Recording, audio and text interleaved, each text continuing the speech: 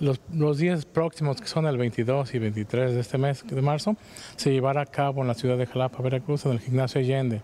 El día viernes vamos a iniciar con el pesaje de todos los atletas y el día 23 se llevará a cabo el, este, las eliminatorias para definir quiénes van a representar en el próximo marco regional al estado de Veracruz, que el marco regional se va a llevar a cabo en la ciudad de Villahermosa, Tabasco.